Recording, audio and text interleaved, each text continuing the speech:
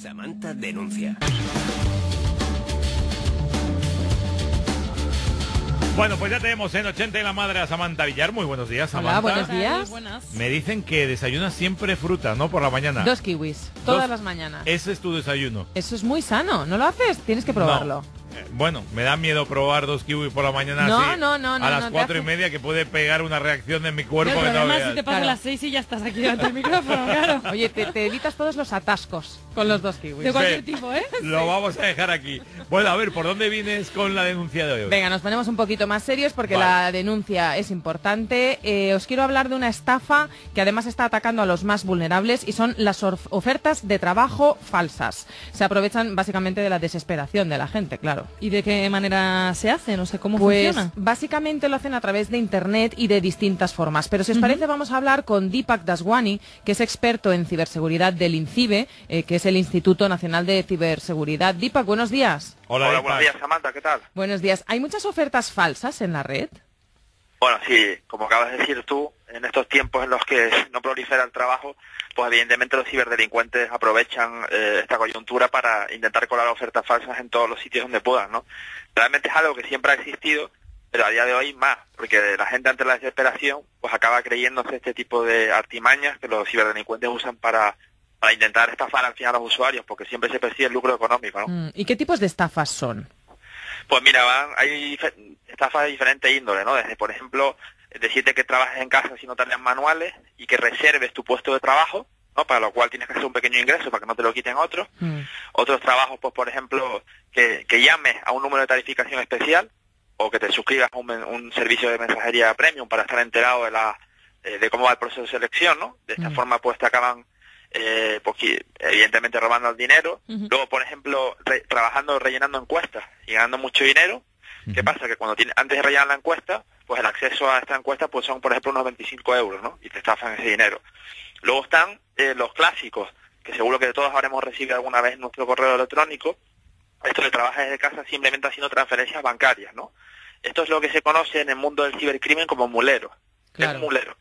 Si nosotros, por ejemplo, somos ciberdelincuentes y robamos eh, credenciales de banca online de la gente, pues evidentemente para nosotros no ser eh, los que aparezcamos en el rastro para que no exista la trazabilidad, lo que hacemos es buscar unos muleros que les decimos que se abran una cuenta en la misma oficina y en el mismo banco de la cuenta que ha sido sustraída para que empiecen a hacer transferencias de pequeñas cantidades de dinero y además no se generan alertas, ¿no? Entonces, si cuando al final se descubre el pastel, el que acaba siendo descubierto es el mulero y no el, el cibercrimen. el Y esto es delictivo, supongo, además. Claro, evidentemente, ¿no? O sea, que no solamente te están estafando con una oferta de trabajo falsa, sino que encima te están pringando en un delito. Claro. Sí, sí, sí, acabas con, las- con las manos en la masa, como se suele decir.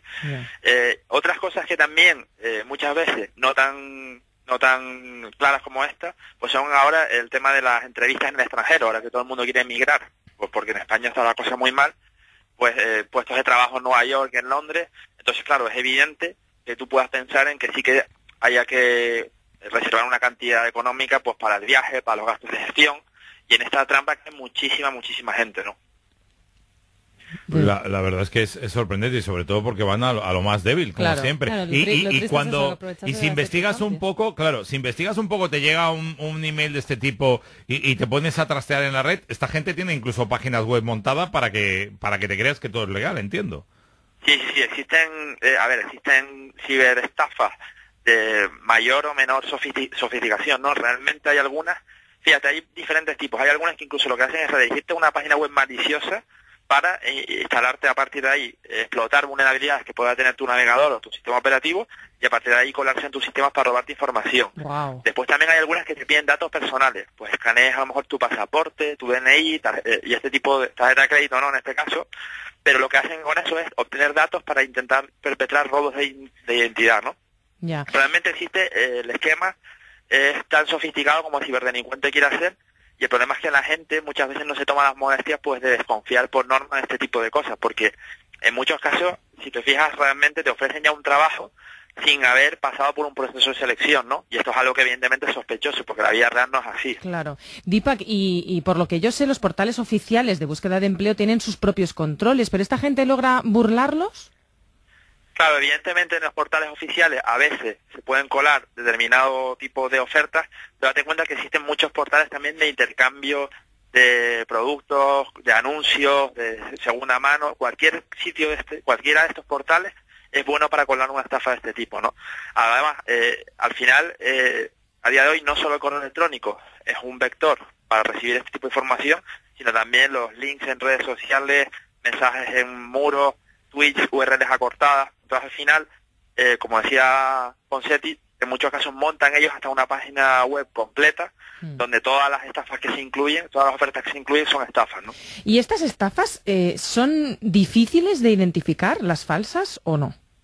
No, yo, hombre, evidentemente para alguna, para personas a lo mejor que tengan menos, eh, menos mm, eh, experiencia en este tipo de cosas puede ser más difícil, pero siempre siguen una serie de patrones, ¿no? Como te digo, no, no pasas por un proceso de selección, eh, evidentemente, tam- siempre acaban pidiéndote o que llames a un número de tarificación especial, o que te suscribas a un servicio de mensajería premium, o que facilites datos personales que no deberías facilitar, o que facilites tus datos bancarios pues para reservar tu puesto de trabajo, para gastos de gestión en el extranjero, pero siempre que te pidan algo y te ofrezcan un trabajo sin pasar ningún tipo de filtro, esto ya es sospechoso, ¿no? Claro. También los correos electrónicos eh, que te vengan con esa forma eh, tan rara de escribir a veces, eh, pueden dar lugar a, esta- a este tipo de sospechas. En este caso, en este sentido, lo que diría es a los usuarios que se conecten a nuestro portal, la Oficina Seguridad del Internauta, osi.es, donde nosotros damos consejos de se- seguridad, pero para aquellas personas que no tengan conocimiento técnico, simples, en un lenguaje llano, directo,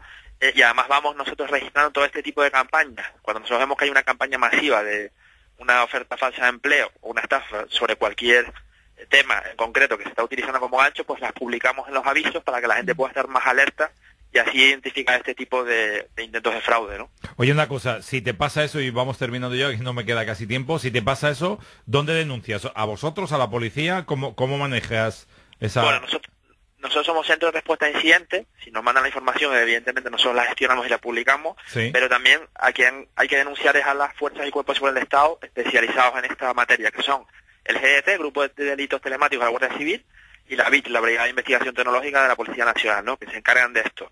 Vale. ellos a quienes hay que denunciar. Recor- recordamos entonces esa dirección a la que la gente podría denunciar esto. Se pone en contacto con vuestra web, que era cis.es, me has dicho. Osi.es, ¿no?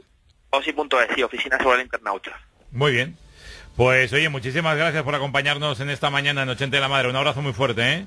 Pues muchísimas gracias a vosotros y cuando quieran. Un abrazo. Vale, luego ya te mando un email, a ver si me pillas. Hasta otra, Dipa, gracias. Hasta luego. Venga, un abrazo.